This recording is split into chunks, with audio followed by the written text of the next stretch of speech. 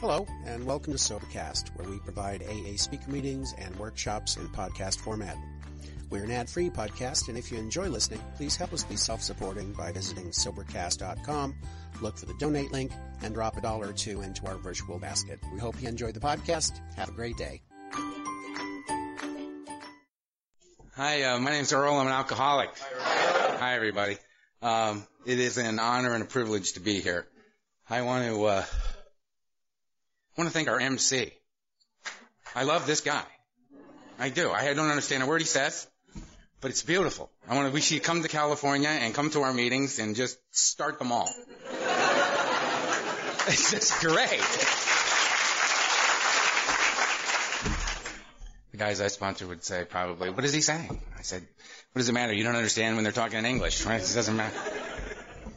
So, uh, 10, 11, I want to thank the people that I've met here so far. Every one of them. Um, I want to thank Siggy for coming to the airport and getting us and taking such good care of us and making all sorts of arrangements for us and Sola for, for, uh, bringing us into her home and feeding us and taking care of us and, uh, Elle and, uh, God, just Thor, so many people that we've met that have just been so kind. And, uh, I think that that's the highest compliment that I can pay anyone is that they are kind. Um, it's a strange, crazy world, you know, and, uh, there's short supply of kindness. It's just a very touching thing. This has been kind of an overwhelming day for me. I've been, uh, since I've been here, I've slept about, you know, 40 minutes in the last four days. And it seems like I'm, uh, I'm physically exhausted, but I'm, um, also emotionally overwhelmed at the same time. Um, I've been uh, very, very active and committed in Alcoholics Anonymous from the day that I got here. Um, because for me, it was very simply live or die. Um, there was nothing else left to do. In my case, it was actually um, was just uh, the only thing I didn't do out there was stay dead. I actually did die at one point. I did not stay dead, however. I've been uncooperative for most of my life. Um, but to uh, so I've been very, very active and have embraced this program um, to the best of my ability for quite a while now. And to come here, it's been, I've been holding back tears all day, just as I, as I, because of course I'm a man and I shouldn't cry publicly, though I seem to often these days, um, to be in your company, to be in this, this country and to be with you people and to see this passion for Alcoholics Anonymous, to see this to see it so alive is uh,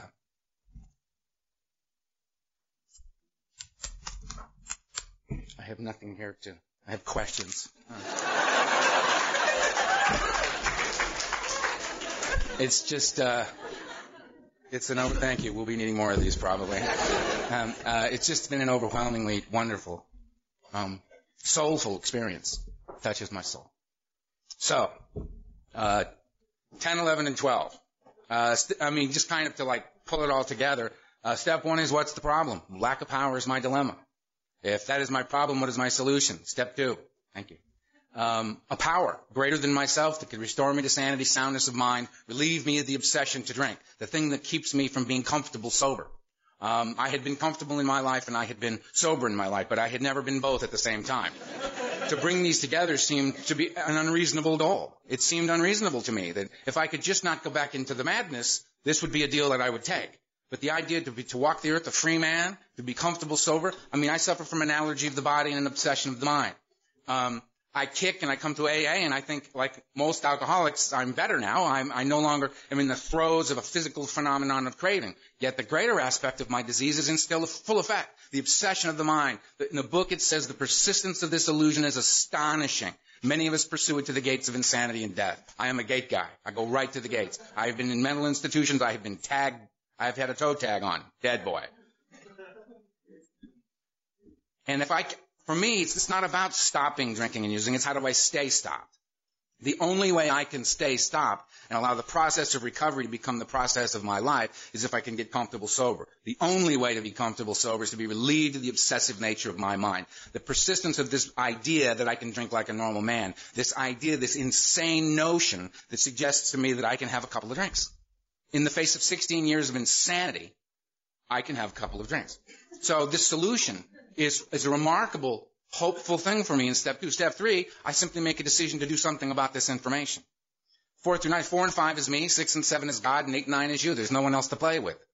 Right? I do the work. I clean my side of the street first. I look at me. It's an interesting thing that if I want to, if I, if I choose this as a path, this process of recovery, if I choose to walk this path before me, I engage in this journey with the understanding that there is no, it's not about the destination. It is not about the destination. It is about the journey. It is about the path that I walk, that process. Being a person who's all about immediate gratification. I want to get high now. How much would you like? How much do you have? May I have it all now? Right? To be in this process um, is a startling new way of life. I, I, I have to find a way to relieve myself of this mental state, which is the purpose of the steps. Promise of step two that I can be restored to sanity. First, I must look at where I am. If I call somebody up and say, I want to get to the Alano Club. I'm lost and I want to get to the Alano Club.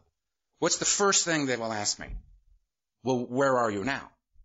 They cannot tell me how to get from where I am to there until we first determine where I am right now.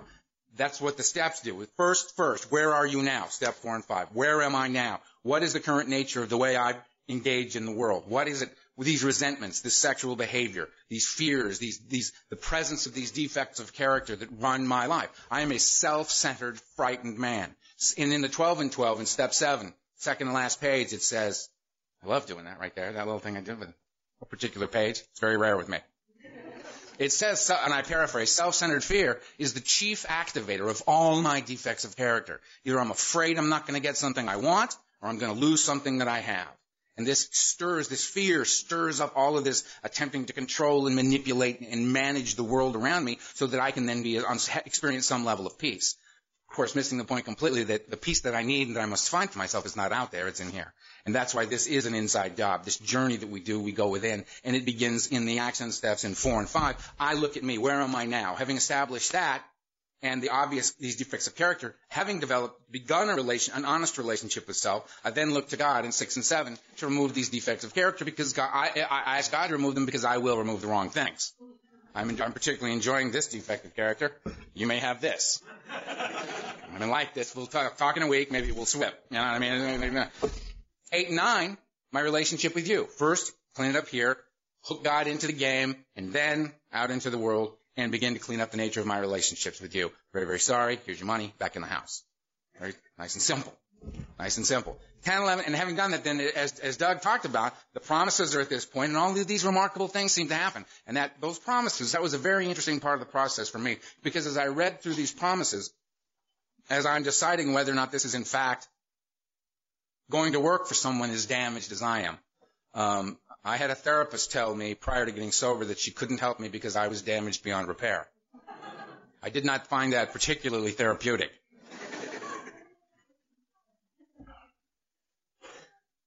One of the promises was, you will not regret the past nor wish to shut the door upon it. And I said, stop right there. That can't happen for someone like me. If you have lived the life that I have lived, if you have done the things that I have done, you would know that I will always regret my past. I will always wish to shut the door upon certain aspects of my past. That's not, and you know what? This A and A thing you got here, this sounds good. Best thing that's come across my path so far, and I'd love to do this. But let's just take that promise and take it off the table, because I'll take the deal without it. You keep that promise, and I'll take what's left, because I don't want to get to that point in this process knowing that can't happen for someone like me. I don't want to get there, have that not happen, resent you all so significantly for that, for, for leading me to believe that something like that could ha- happen to a person like me. And, and have that resentment fester within me, and then I'm going to go out and die. So let's just take it off the table now, so that I don't have to face that later on. And they, of course, did what they usually did, which was they said, "Thank you for sharing, Earl. Now let's let's just move on." They ignored me completely. Um, and I'm, I'm here to say that that it has in fact come true for me. I do not regret my past, nor do I wish to shut the door upon it. And that is uh, beyond my wildest dreams. Um, I'll talk more about that tonight. But the uh, um, in 10, having completed the nine step, the first nine steps, in 10 it says, uh, um, continue to take personal inventory and when wrong, promptly admit it. Um, it was at this point that I real I realized, well, apparently I'm not done with everything that's come before. The fact that I've cleaned it up, the fact that I've looked at it, the fact that taking these actions has created a change in my life, it has, it has done, it has changed me. I'm beginning to function differently than I did before. I'm beginning to see it coming and change my behavior and not create more information for the fourth step necessarily. It's slowing down. But the fact is, I've really only just scratched the surface.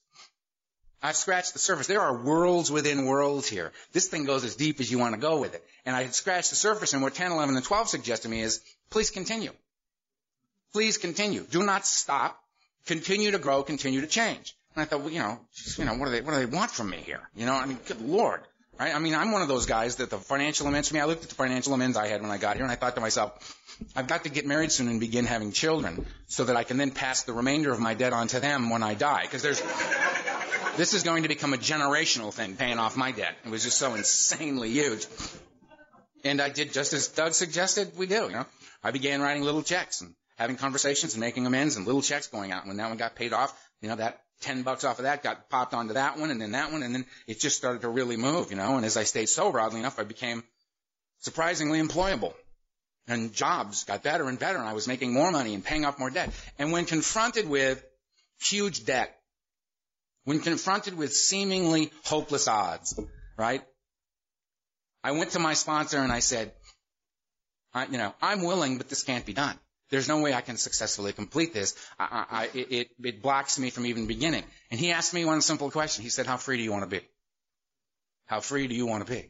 And I said, I want the big buzz here, man. I want to be free. And he said, then begin. Then begin. Again, the path, the journey. Begin. Become the person who pays his debts as opposed to the person who figures out a way not to who makes it about them or that or this or the other thing. Just become the person who pays his debts. If you owe a million dollars and you've got two dollars in your pocket and you give one dollar to that individual to say, now I only owe you a string of nines. That is true, isn't it? And the action of addressing has taken place. I don't think the universe particularly distinguishes between 10 cents or $10,000. You owe what you pay it. You give, take the action of engaging in the process, and you take the action of engaging in the process. You are in the process. And you, to the degree that you can commit to that is the degree that the freedom comes. That was my experience. Tan says to me, I continue to take personal inventory, and when I'm wrong, promptly admit it. The assumption there is, is that I will be wrong. That I'm going to screw up. I am a flawed man. I stand before you, a, a horribly flawed man. Right? who is on a process, who is growing and healing and changing and doing the best that he can along the way. That's who I am. That is who I am. I'm not, I mean, there, you know, we are not saints. The point is we are willing to grow along spiritual lines, demonstrating the willingness to grow along spiritual lines. I am terrified of flying.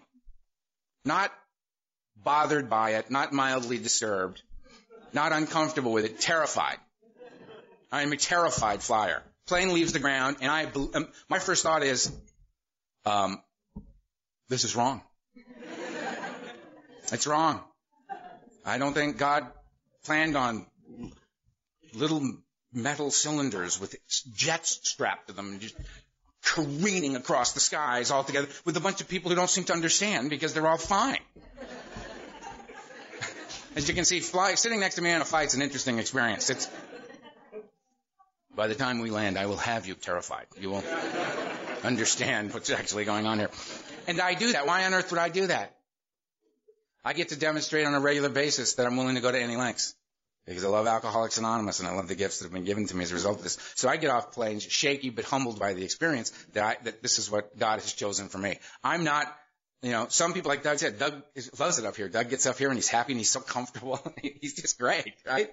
Loves it up here. I'm one of the ones that doesn't like this. I have never liked this. I do it all the time, but I don't, it's not my idea of a good time. I, I, I never said a word in Alcoholics Anonymous for the first two and a half years that I was here. Um, I didn't say a word. I did not share. I did not do any of that. Um, I had a sponsor. I took direction. I had commitments. I cleaned up meetings, but I did not share in Alcoholics Anonymous um, because I was afraid if I told you who I was, you would uh, um, send me away because you looked like reasonable people, and that's what reasonable people would do. You go. How wrong I was yet again. Um, and the only reason that I did share is that my sponsor directed me to do so and uh, it's turned into this somehow. You know, it's very strange to me.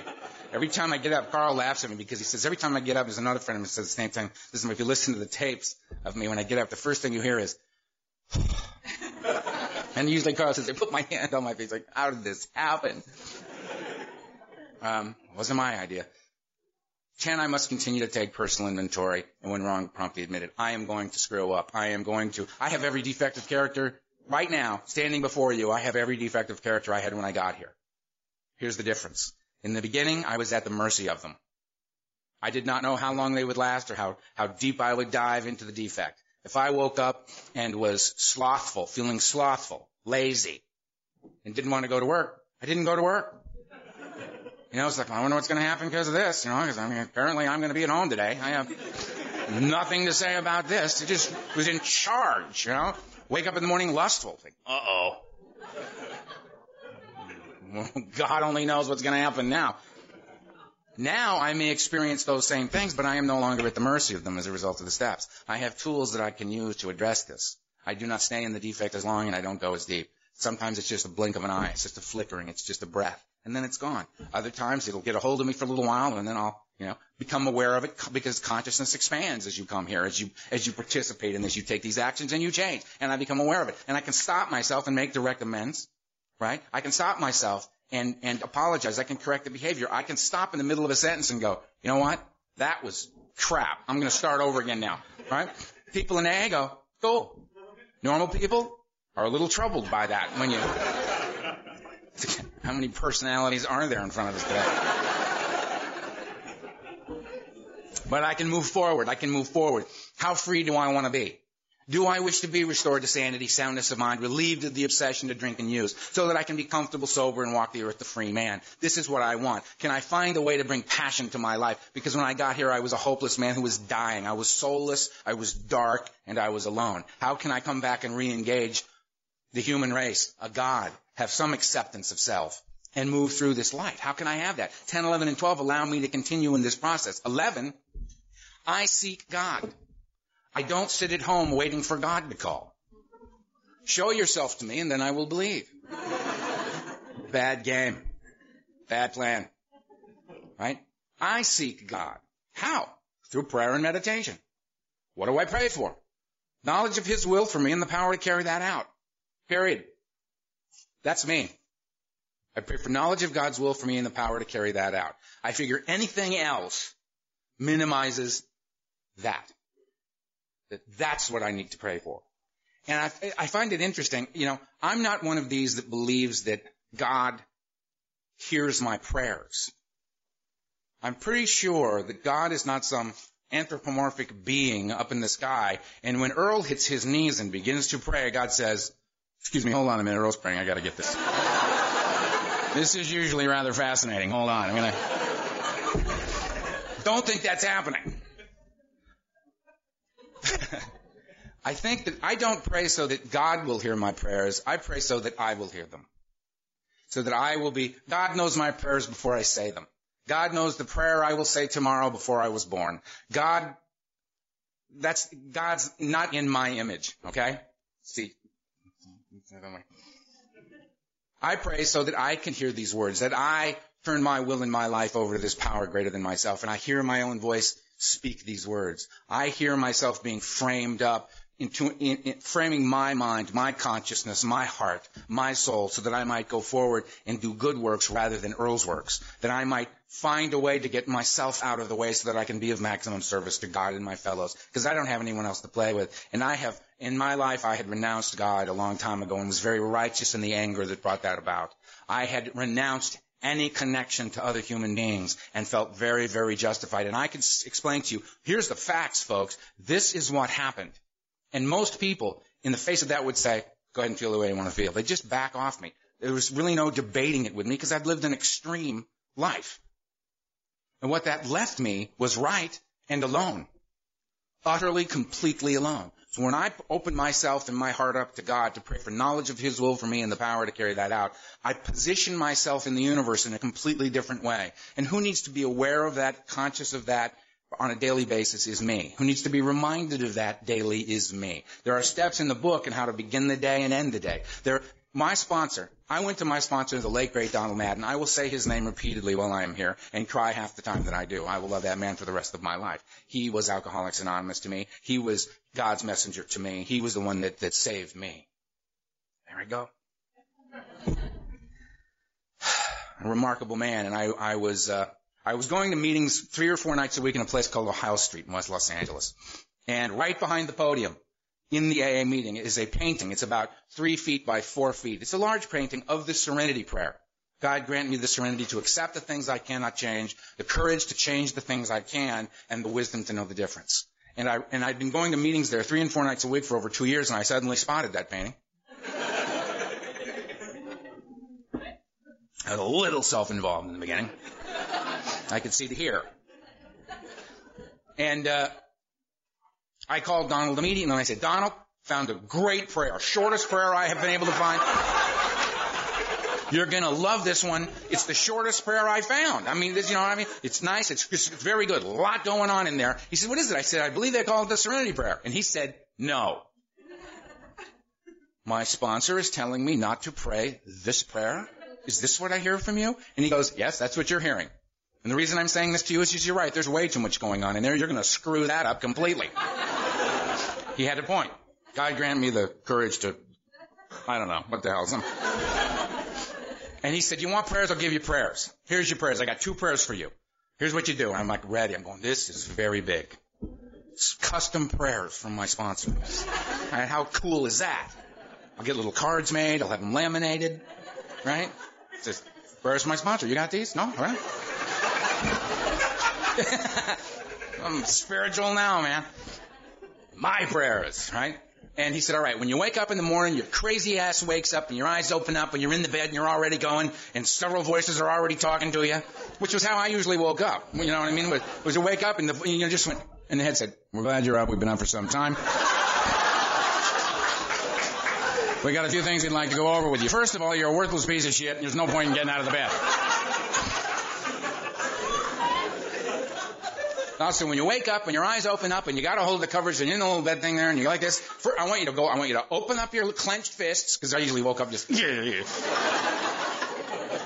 wake up, open your hands, palms up and say, whatever.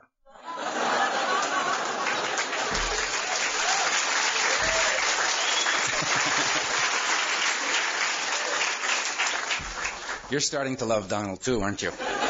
Yeah. And I thought, great, got it, got it. And I'm thinking to myself, don't forget, whatever, whatever, whatever. Okay, I got whatever. And he goes, okay, and when you get to bed at night, I want you to get in the bed, grab the covers, pull them up your crazy ass head, right? Put your palms up like this and say, enough.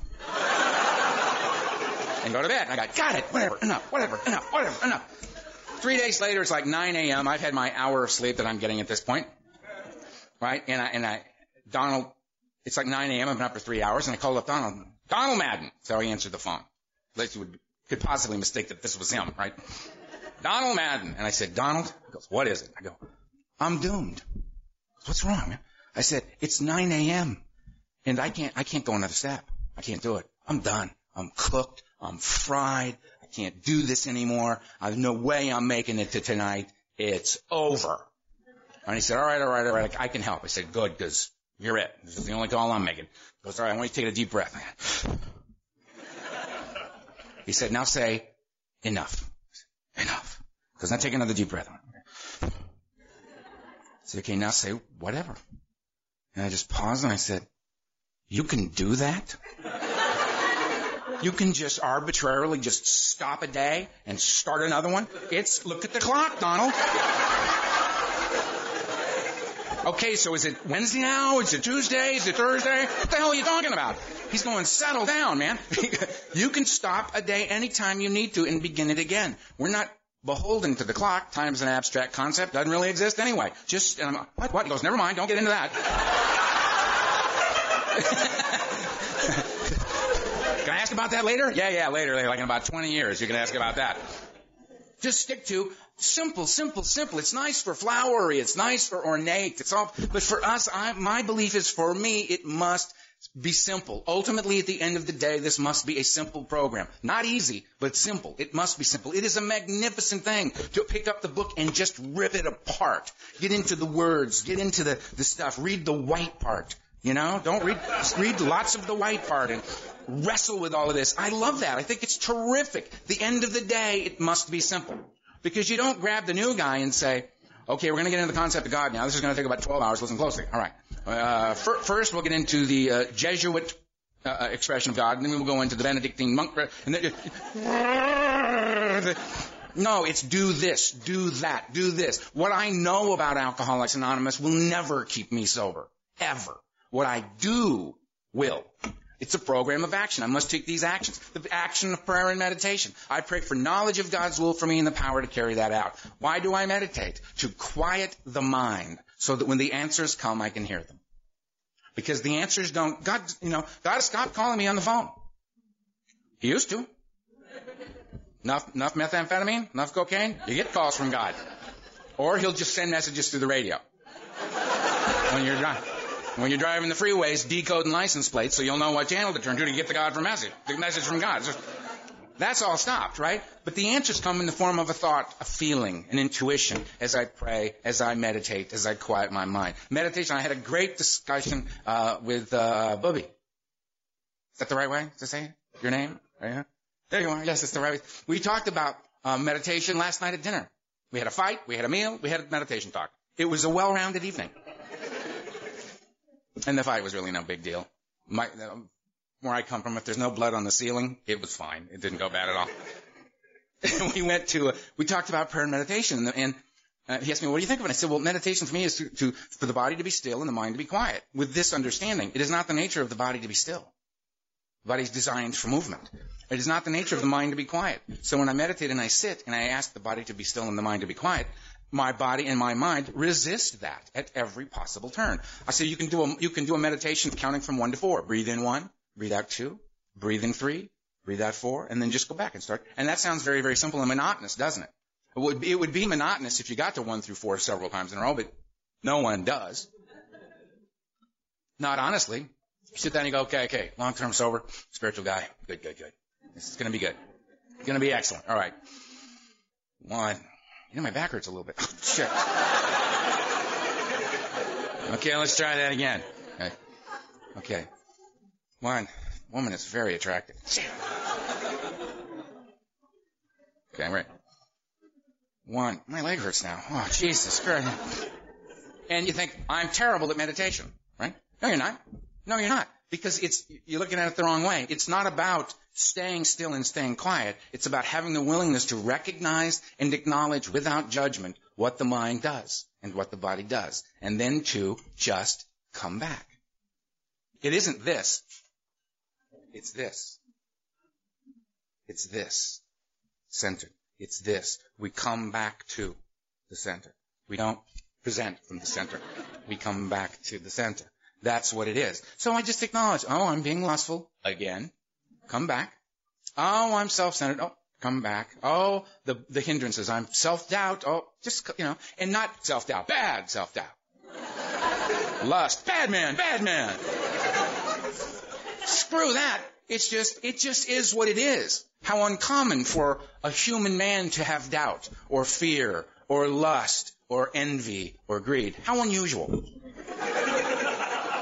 To just see it, that it's there and not judge so much judgment. I have one New Year's resolution every year. Less judgment, more tolerance. Less judgment, more tolerance. Because they say ours is a code of love and tolerance. But for the rest of the world, it's love. Love. What's all about? It's all about love. Give love. And that's a beautiful thing. For us, it's love and tolerance. I mean, I think they knew who they were talking to. We're going to have to kick tolerance right up there with love because I am by nature um, intolerant. I'm intolerant of myself and of others. It's the nature of being self-centered and afraid. It, uh, how could I not be? So to meditate and to get out of the judgment of the thoughts of my mind is to just see them for what they are and come back and come back and come back. And you find what happens as you continue in this seemingly meaningless process is an internal change begins to come. And you become to, as the book suggests, rely upon intuition. Right? Rely upon intuition. Not to lessen, to lessen the self-doubt and to know that there is a consciousness beyond mine. And if I can get myself out of the way, I can tap into it. And I can direct my life in accordance with that, which I think is much more of an concept of God's will than mine. Right? 12, how long am I going to? I've got a while. Okay.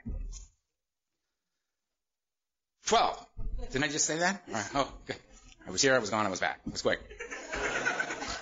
12 having had a spiritual awakening is the result of work on the steps. The result of work on the steps. That was the whole point. To be restored to sanity, soundness of mind, to be relieved of the obsession to drink and use, to walk the earth a free man. Having accomplished that, having, having had that experience, is direct result of working these steps, taking these actions that were outlined before me, I can now practice these principles that are found in these steps and carry the message to the alcoholic who still suffers. I can practice these principles and carry the message. Third side of the triangle. I'll get into that stuff later. But I can be of service. How can I help? How can I help? Not because I'm a good guy, but because I want to stay sober. Whatever motivates you. I, I, I mean, I love it when people explore the motivation. Geez, you know, am I am I ready? You know, am I am I have I, am I framed properly here? You know, have I, have I missed a discussion group that I should be involved in for the next 11 months before I do? Finish 12? Great. Now, you can't keep it unless you give it away. One of the great brain twisters of AA, right? Um, be a service. Donald Madden said to me, I will give you everything that I have. I will show you how to live a completely, fundamentally different life. The only thing that I will ask of you is that when you catch this buzz, which I'll talk about later, when you catch the buzz, you must now run and give it away to the guy walking in that door. Because there's a new wave of insanity washing up on this beach every day. And you must take your, cha- your turn in this human chain of recovery. You must take your turn. And I said, okay, I will. And I've been honoring that promise to him every day since the day he died and I will hopefully, God willing, and I believe He is, I will be honoring that promise for as long as I live. Um, it's the grace in life. It is. You think you caught a buzz getting sober. Give it to somebody else and watch those dead eyes light up across from you. I've been high on everything there is. I'm, I, everything. Everything. and there's no buzz like that. No buzz like that watching somebody come back from the dead. So I am of service. I am of service. Out of self, service, more God. Out of self, more God. Out of self, more God. Get Earl out of the way. Get me out of the way. If I spend most of my time getting me out of the way, I get much more done in life.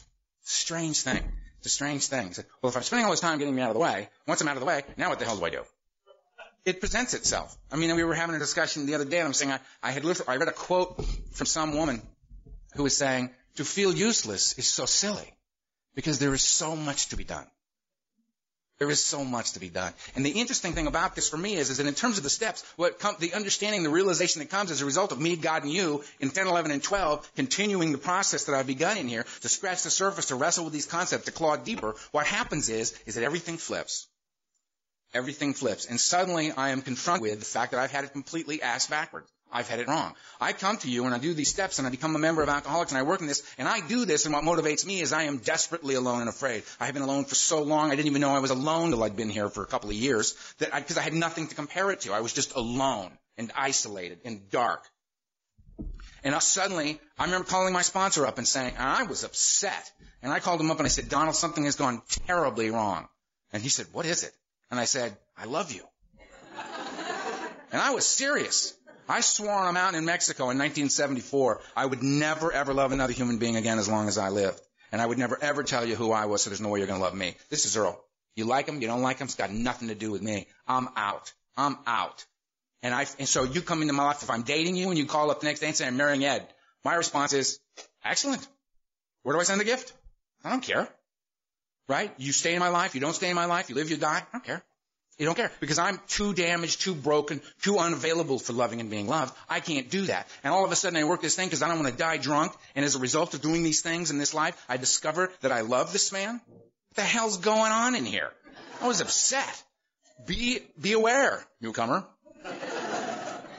I actually heard a guy once at the podium say, if you're new and you haven't worked these steps, run for your life. and I went, what? Donald went, shh, sit right there.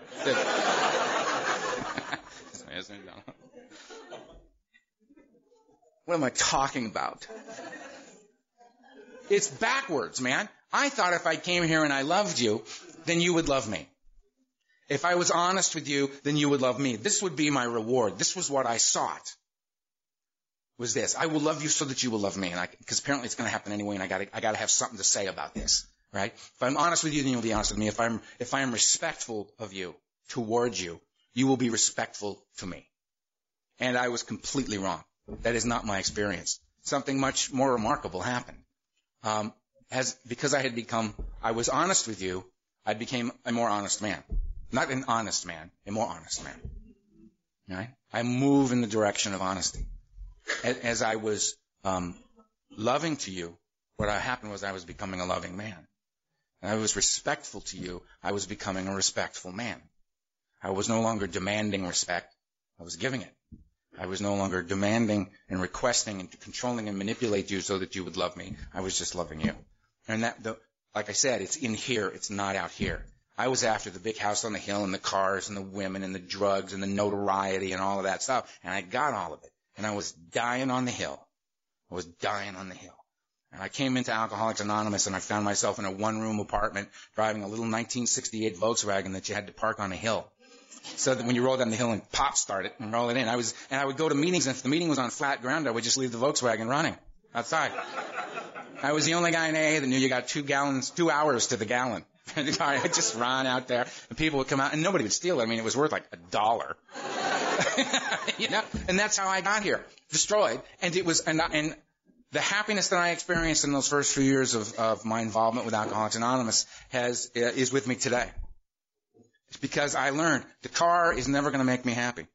I will not know true happiness from an automobile or uh, even even a pretty woman or a kind woman. I, I will not know happiness over there. I will not, the money, right? Now, do I seek money, property, and prestige? Sure. I'm alive. It's what we do here. We play. So I play the game and I have a lot of fun and I do all of that stuff.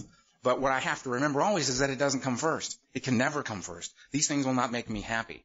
What makes me happy is the inside work, the inside job. Do I have a relationship with the power greater than myself? Do I have moments in my life where God is like my breath? Yes, I have those moments, right? And they sustain me, right? Is it more important to me that I am loving towards you than you towards me? Yes, it is. Because I have seen the benefit and the value of that. It's the inside job. I wish to know peace. I wish to know, come, I want the ease and comfort that came with those first couple of drinks that was talked about. I want that. But I can't get it out here anymore. I've got to go in here and do the work. I, if I want it, I got to come get it. I got to come get it. I got to take the actions. Sitting in the back of meetings and listening to other people talk about their experience and their journey is a lovely experience, but it will not sustain me. I must engage in this 12-step process. I must act in defense of my own life. I'm, and the cool thing about this is I'm going to have to get sober somebody else's way. If you, if I come in with my consciousness, which is when you kick and come in here, alcoholism is in full effect. This isn't about alcohol, it's about alcoholism. It's in full effect. The obsessive nature of my mind is in full effect. I work the steps to address it. I work the steps to address it. When I do that, I am transformed as a result of these actions. And I begin a new process and a new path. Make sense? You with me? Thank you. yes, go ahead. If I engage in this daily reprieve, if I do all three sides of the triangle, I'm in good hands. I'm in good shape. There's a line in the book, again, that's rarely looked, I mean, we, we see it so often, we hear it so often, we just kind of glance over it, you know. It's where a lot of us just check out for a little while in a meeting. When they read a portion of chapter 5 in the beginning of meetings, the first line is, rarely have we seen a person fail who has thoroughly followed our path. That's some very good news for a hopeless alcoholic of my type. That's very good news. Concern what is thoroughly? How do I, what is thoroughly? The steps are designed to relieve me of the obsessive thinking. The steps are designed, now that I'm physically sober, to come in and be comfortable, clean, and sober, to be relieved of this obsessive state of mind. That's what they're for. That's their purpose. But there's more to the game, isn't it? This thing of sponsorship. I do these 12 steps. I go to meetings a lot of times and they say to guys, um, in the meeting they go, uh, is there anyone in here with over a year of sobriety that has worked all 12 steps? Would you please stand? And all these people stand up and they say, for you newcomers, Here's sponsors that are available for you that have worked all 12 steps. We know you can't give away something you don't have, so here's the people that have it. Here's the people that have worked all 12 steps and are now willing to take you through that process. Get their names and numbers, hook up with them, right? And I think, there it is. Sponsorship. Being a sponsor. Being available and willing to take someone through this process that was so freely given to me. People ask me, well, what should a sponsor be? The only reason I'm talking about this is he asked me to. Carl the Sober. You have Eric the Red, now you have Carl the Sober. who's who's a very dear friend of mine, and I love him dearly. And you would be you would be very proud of your Carl if you saw the work that he does in the United States. If you saw the service that he provides, it's really remarkable. It's an honor to know him. Um, sponsor's job, in my opinion, is to take somebody through the steps. And you gotta understand, this is all just my opinion. Somebody else will get up and say the sponsor's job is this. Somebody else say, oh, it's more like this, or oh, it's more like that, and it's more like that. And nobody's wrong. It's just great. I mean, I love, and you'll see people actually get to the point where they're gonna come to blows about these conversations. And I think, this great? Alcoholics stand up squaring off over the process of recovery. It's so important to them. This isn't about getting it right. It's about doing it. Doing it. A good way to do it is I went, I went looking for a sponsor. I thought, oh, they said, what's a sponsor? I said, what's a sponsor? They said, a sponsor is somebody who's got what you want. I said, well, I would like to drink. so maybe it's a little early to be throwing the ball back in my side of the court. You know what I mean? And I've since come to believe that what I want, I want a sponsor who's got what he wants. Because I think that's a very good definition of happiness, wanting what you have. Wanting what you have. So it, it less and less and less it became about the kind of watch he had on, or the car he drove, or the money he had, or the house that he lived in, or his standing in AA, or his social status, or any of that crap. What it had to do with was the light in his eyes. That's what it had to do with, was the light in his eyes.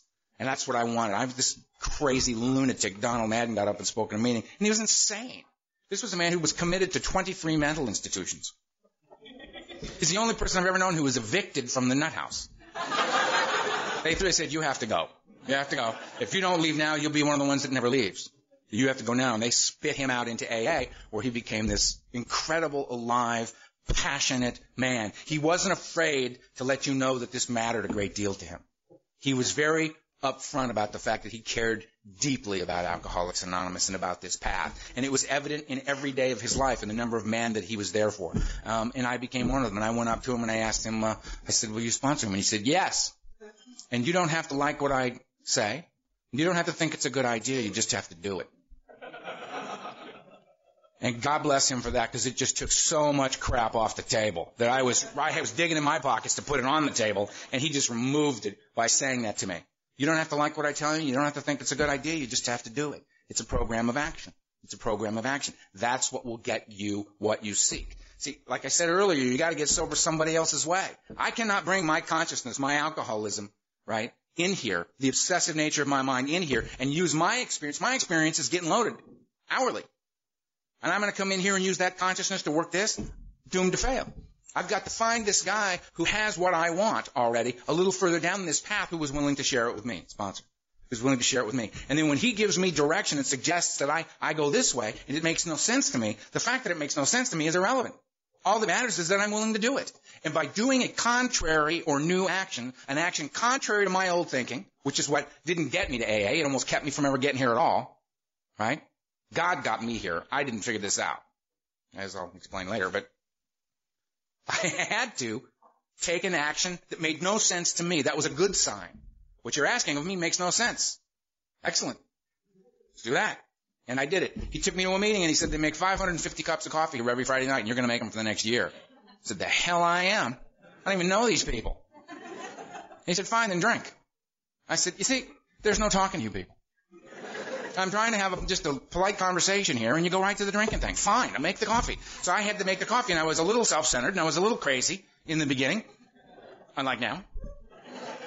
And they gave me this box with all this stuff, all the coffee stuff, the stuff, the little swizzle sticks and the creamer and the fake sugar and the real sugar and the this and the that and the that and, a list of stuff you gotta buy. So I'm like obsessed, man. I was like, oh, Jesus, I'm big, 550 cups of coffee is a lot of coffee when you don't know how to make coffee. So I'm at the market, I'm getting the stuff, and I got the stuff, and I'm in the car, and it's like, you know, Thursday morning, and I'm double checking the list. Got to be there in 36 hours. Okay, we got everything. We got everything. We got. You get there early, and you put the pots together, and you get the whole thing together, and you got it all set up. And now I'm drinking coffee while this is going on, so I'm getting a little jacked up. And I'm making the coffee, and I got the pots out, and I got the pots out, and I got the table out, and the table out, and everything's ready. And they had the meeting before the meeting, and I got the coffee out. They didn't blow any of the fuses in the building because I put the pot over there, and a pot over there, and a pot over there, and a pot over there. And I got my little table set up, and my condiments, and the coffee, and the people coming in and go, have a coffee. you, coffee. Come on. And then they come up and go, thanks. Who the hell is that guy? And they get the coffee and the swizzle thing, and the guy put the swizzle stick down on my condiment table. Uh, bro, does that look like trash can to you? You want to pick that up, please? Hmm? Hmm? Hmm? Hmm? It's like, dude, sorry. All right. You know, by the end of the meeting, I'm just like a parrot in the back of the room. Up till four o'clock, in case anybody wants to call me and find out how I made that great coffee. And you know what? I would leave Friday night every after that meeting thinking, you know, I feel good. I feel good. It's I can't explain it because I couldn't put together. You go to a meet, sponsor says get a commitment. I think I'm the new guy. I'm the grunt here, right? So I get to do the I get the job. I have to serve these people their coffee because I'm the new guy. So everybody can come in and go, give me a cup of coffee, new guy.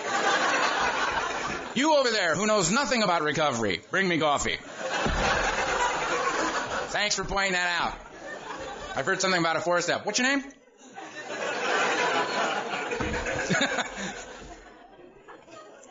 and that's not what it is. What it is is, oh, you're new?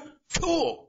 We got this great thing we're going to give you. You're going to make the coffee. Yeah, yeah, I know. It looks like we're giving you the grunt, grunt job, but really, really, really, we're not. We're giving you one of the greatest gifts we've got. Have you ever heard of this spiritual principle of service? Out of self, more God, out of self, more God. I'm sure you look like a self-centered alcoholic girl. Probably never thought about anything but yourself your entire life. It's like if you're, if I'm talking, I'm talking about me. If you're talking, I'm wondering how this relates to me.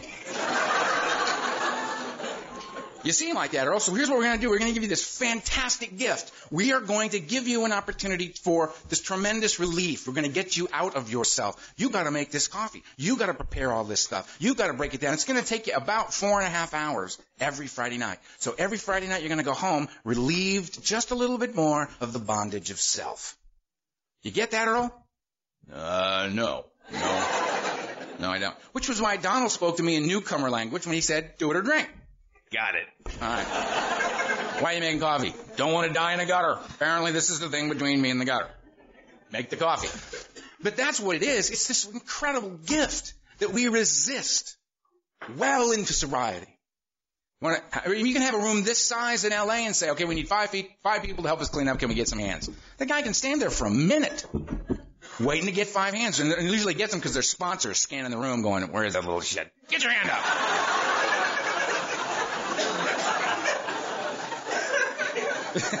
guys in the back ducking behind other guys so their sponsors don't spot them. Jesus Christ, get your hand up. to clean up a meeting. I figure I go to Alcoholics Anonymous to save my life. I've had commitments the entire time. I've been sponsored the entire time. Because I'm smart? No. Because of good sponsorship. That's why. Because I was willing to get sober somebody else's way. Because I knew my way wasn't going to work. I tried to get sober and I couldn't. Could not get sober. I had to do it somebody else's way. I had to use their consciousness. If I'm taking the contrary action, I'm here and the guy says make the coffee. Everything inside of me says screw you. I don't make coffee for people I don't know. I don't make coffee for me. He says, fine, that's a lovely sentiment, Earl. Now, now do it or drink. It's like, fine, I make the coffee. Resistant, right? Defiant alcoholic, right? I go and make the damn coffee, and I suddenly feel better. Interesting. Interesting. New concept. As a result, new consciousness. What is the result of that? Why? The result of that, that result is because I took a new action. Action. I took a contrary action suggested to me by a sponsor, new understanding, new awareness. Oh, gets a little buzz here, get a little relief, dig it. Coffee. Call him up and go, you know that Friday night coffee commitment? Uh, yeah. He's assuming I'm going to say, I gave it up. I go, I'm sweeping up on Saturday night at Ohio Street. Fooled you, didn't I? Catching on, right? And then I got this commitment over here, and then a guy says they take out panels. I said, great, what's a panel? That's where you gather up four or five guys, and you drive them out to a prison or a nut house, and you go in and you talk to people that aren't listening. It's great. and then you drive them all home, and you have a meeting on the way, and you have a meeting there, and you have a meeting back. I said, I'm in. And I did it. And I took them to, I had two panels. I took a panel to San Fernando Valley Juvenile Hall, beginning of the disease, and to County General Hospital Alcoholism Ward, end of the disease. And I will never forget my eager little two and a half years sober, got my guys, right? I'm like the lead dog here, you know what I mean? I got, I got two and a half years. Little do they know I'm hanging on by a thread. I'm insane. And we're in my car, but I'm acting like I got it going on. Yeah, we're going to county. And I'm looking at the map going, Jesus, I hope I can find this place. What the hell? And we get up there and I walk in going, how you doing? You got the nurse there with a thousand yard stare. You know what I mean? Been there 20 years. She's seen it all. And here comes me, you know, all polished up going, hi, we're members of Alcoholics Anonymous and we're here to help some drunks. And she just kind of looked at me and said, of course you are, baby. oh. in we go. See uh, the guy laying in the bed. Five point restraints. Arms, legs, head. He's in the bed. He's yellow. He's my kind of yellow, getting sober yellow, right? He's, looks like he's got a football in the bed, but that's his liver. He's dying of alcoholism. He's not getting out of there. He's not going to leave that place. He's not going to leave that bed. He's going to die in that bed. His liver's gone. He's dead. Right? He just hasn't done it yet. He's laying in the bed in the, you know, kicking, detoxing. We got in, four, in five point restraints. And I walk up and say, excuse me, sir, we're from Alcoholics Anonymous and we're going to have an AA meeting. If you want, we can put the chairs around your bed. Put the chairs on your bed and we'll just have the meeting right here with you. And he looked me right in the eye and he said, why? I don't have a drinking problem. and it scared the shit out of me. Because I stood up from that bed and I went, I have that disease. That's my disease. The difference, as Norm Alpe used to say, the difference between me and that guy is seconds and inches. Seconds and inches. That's it. That's it. Who knows? This man may have been a captain of industry, accomplished far more than I might ever hope to in my life. And alcohol took it all. Took it all, and it's now going to take his life. And he is still in denial. The shroud of denial just lays over him. Why? I don't have a drinking problem. I'm going to die from drinking, but that's not a problem to me. It was astonishing to me. And man, that I left that hospital so grateful to be an insane little two and a half year old sober guy with a car full of terrified newcomers. We're all looking at me going, "What the hell was that? what the hell kind of meeting was that you took us to? Is that like the dead guy meeting? What the guy?"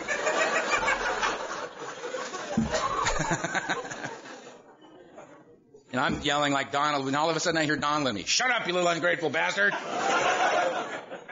Turn around very proud of myself. Right? They're all in the back scared to death. And I was in the front seat scared to death. But together, together, we went and we every month right back there. Two and a half years, right back there, right back there. Why? Because I don't want to die drunk. Because my sponsor said do it, so I did it. And you know what? My life changed. The way I look at it is this. If you look at, if I look at my life as a pond, just a pond of water, and that is my life, just a little pond.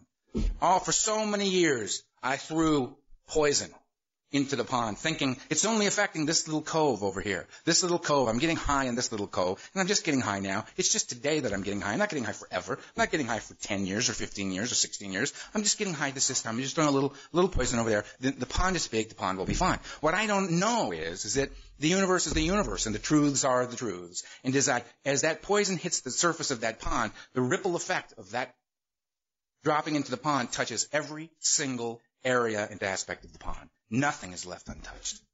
And as I think I am only doing this little bit here, I am poisoning it all. I am cutting myself off from God and my fellows, and ultimately from self. I'm just completely, completely gone. I come into Alcoholics Anonymous, and, and the sponsor says, "Here, take this and throw it in the pond." Whatever. All right. Start throwing this stuff in the pond. I start throwing service.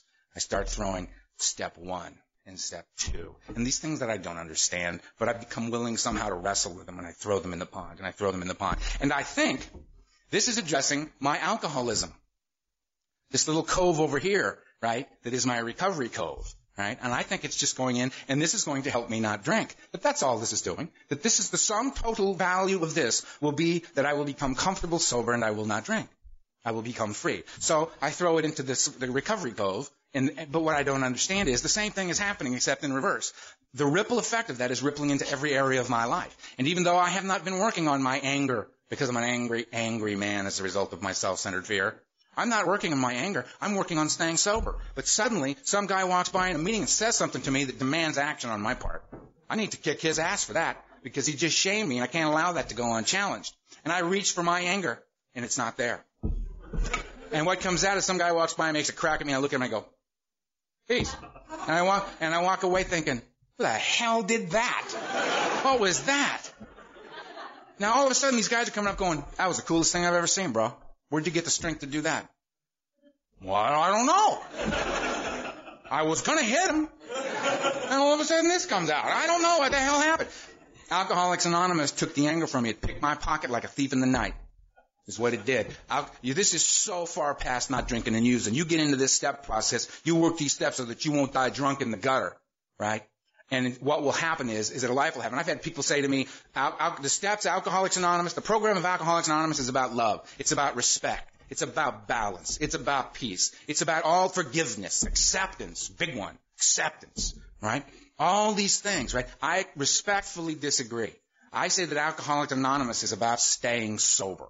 That's what this is about. However, I must engage in a process of action in order for me to recover, for me to stay sober. I must take these actions. The result of these actions cause me to bump into and wrestle with and experience peace and love and tolerance and acceptance and forgiveness. It, we, As an alcoholic, I so tried to compartmentalize my life. Okay, I'll do this and it'll be about sobriety. I'll do this and it'll be about money. And I'll do this. It ain't like that. It's the whole human in balance brought into this life. Brought into this life. If I get sober and engage in a spiritual path in order to do so, a spiritual path will impact my entire life. And suddenly, I won't feel good about stealing cars anymore. I won't feel good about lying to her. I won't feel good about misrepresenting myself. I will change.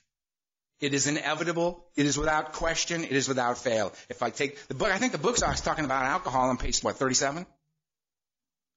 And the, and the, and the text is up to page 164. It's about living life sober. It's about being free. And I need more freedom than simply not drinking will give me. I need more freedom than that. I need the big buzz. I need the, the granddaddy of all buzzes. I need to be able to breathe in and out and get into that. I need to get between those. I get back to right here, right now, which is the only place I can live a life. It's the only place I can love you. And oddly enough, I've known you for two and a half days and I already do. I love you. I love you. Um, you are mine. I am yours. You know? We belong to each other. We come from different lands and we belong to each other. Here. Here. Gotta live from here. Gotta live from here. Can't live from here. Cannot live from here. Must live from the heart. Must live from the heart. Must find the courage, the faith, the strength to move into the world from here, from my heart. To be, to be able to say, I'm a man. I'm a dominant male. I am a proud man and I am flogged and I know fear and I worry and I and I wrestle with concepts that seem easy to others and they're not for me. Right? I'm a sponsor. I sponsor a legion of men. There are those that will tell you that's be, that you want to know how sick someone is. Look at how many people they have to sponsor to stay in the game. Uh, my guys would suggest I'm a very, very broken man. There's so many of them, right? And and they they're one of the many, many lights in my life. They, they have no idea. They have no idea how much they mean to me. So if you're new and you wonder, mm, the steps. I would suggest that this, um, do them, experience them, and you will discover that it goes so far beyond not drinking and using. It is a design for living. This is the backbone of that. This is the, the, the heart and soul of this. This will begin to, be, this will become alive and it will breathe in your life and it will change you. And I promise that that change will be a delight. That you will, you will love the change that you experience. And it's 4.30, so peace. That's it.